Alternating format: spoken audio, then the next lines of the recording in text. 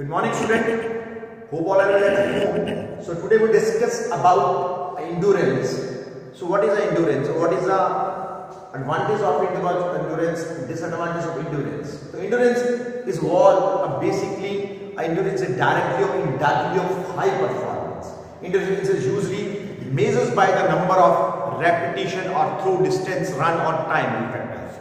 It is a ability of the body to continues especially designed uh, uh, despite the fatigue, stress or other adverse conditions. So endurance means the ability to stay or um, exercise for a long time without being time. So endurance makes the heart stronger and keep blood pressure under control. That is basically important. Now we discuss about uh, according to free online dictionary, endurance is an act, quality or power to withstand hardship or stress. It is a continuous extent. According to Merriam, uh, endurance is the ability to deal with a pain or suffering that uh, for a continuous for a long time. So further it says endurance is a ability of withstanding a hardship for a prolonged period.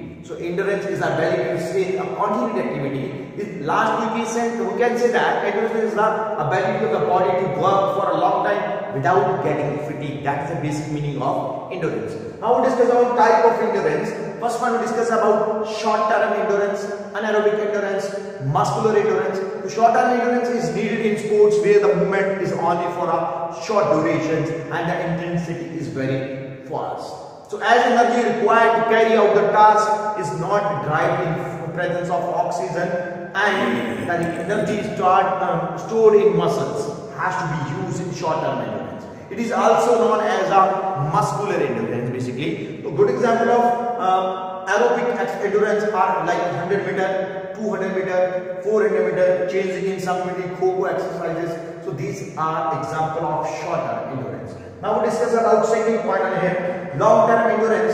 It is required in those sports activity where the uh, movement is for a longer duration and intensity is low. In short-term intensity is very fast, in here is long-term intensity is very slow as energy required to carry out the task in drive uh, in the presence of oxygen. It is also known as a cardiovascular endurance. So basically because cardiorespiratory system has to supply the blood and oxygen work uh, muscles. So that's it. These are uh, required for a long uh, time, long-term distance races, road races, marathon races, cross-country races. We use and need a long-term endurance. Now we discuss about activities and we discuss about the fourth point on speed, short term endurance, middle term endurance and long term endurance. Now we discuss about first one on here speed endurance. So speed endurance is ability to resist fatigue in activity lasting up to 45 seconds. So basically 400 meter sprint is a more suitable example of speed endurance. Okay, 400 meter. The speed endurance mainly dependent on the power and capacity of the energy production. That is the most important speed endurance. Second, we discuss about the short-term endurance. The endurance ability is needed for cyclic activity lasting from about 45 seconds to 2 minutes. Uh, it is example of 800 meter of races is main good example of this. Such activity resulting in a high amount of lactic acid and concentrate, uh, constrict the muscle in blood. That's why we need a short-term endurance. Third one is about middle endurance. So in the middle endurance, needed for us uh, such sports activity which is last from 2 minutes to uh, basically 11 minutes. It also depend on strength, endurance and speed endurance. Is basically the good example of middle term endurance is 1400 meter of this is a good example. This is last one, uh, long term endurance. Long term endurance basically are required for activity which are last for more than 11 minutes, more than 11 minute activities like 5000 meter, 10,000 meter, cross countries or other uh, long races exercises are long term endurance exercise example of long term. Now discuss about method of developing uh, endurance.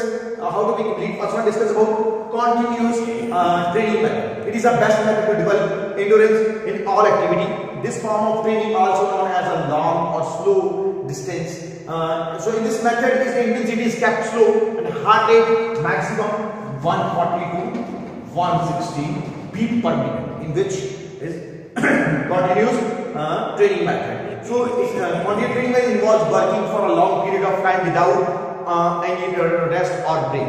So, if we discuss about advantage of this training, it's required for a, a very less equipment is cardiovascular respiratory system. If we discuss about disadvantage of this, it can be sometimes boring but does not improve sprinting skills in this activity. Second point we discuss about uh, interval training method and last we discuss about fartlek training or speed training. First one discuss about interval training. Interval training means this is a method in, uh, enabled to improve the work load by heavy bouts of fast running with recovery period of very fluid like jogging. So this method uh, provides a break and rest between period of and do any hard exercise or rest. That is the meaning basically uh, uh, interval training. So what is the advantage of it? It increases endurance, overall fitness and level of performance. Patience of athlete will be increased in this. So if we discuss about uh, disadvantage of this training, it basically increase chances of injuries in this activity. Now we discuss about last part here, fartlek training or speedy training.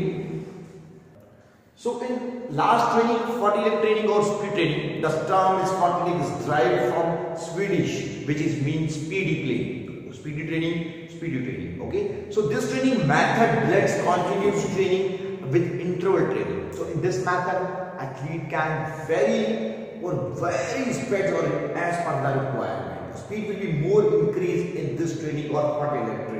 So this is a basic thing of their comfort of sports person. So athlete run for a, a, set period of time with faster, slower and sometimes intermediate uh, speed runs. Normally it is target only for a cover the total distance within this. If we discuss about continuous, heart rate will be very less.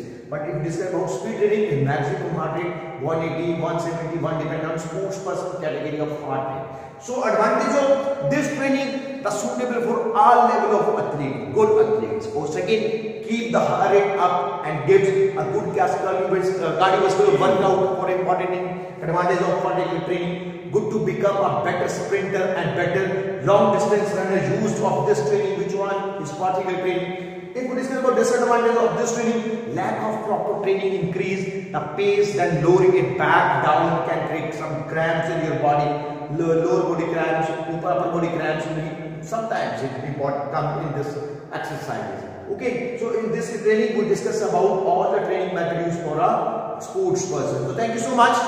In next lecture we will discuss about another topic.